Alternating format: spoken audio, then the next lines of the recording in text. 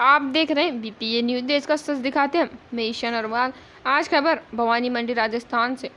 एक वर्षीय पुत्र पूर्वजल, पिता गोविंद प्रजापति उर्फ़ मोनू तेलगुरिया के जन्मदिन के अवसर पर भवानी अहिंसा गो तीर्थ सेवा संस्थान में सवामनी कार्यक्रम आयोजित किया गया और एक आलमारी गौशाला में भेंट की गई। मौके पर डॉक्टर गोपाल गुज्जर, हुकुमचंद तेलगुरिया पूर्व पार्षद सोनू छाबड़ा, कमल शर्मा, दिनेश गुप्ता अंचल व्यास, सुनील जोशी, डूंगर सिंह, शरीफ मंसूरी, अकबर पठान आदि मौजूद रहे।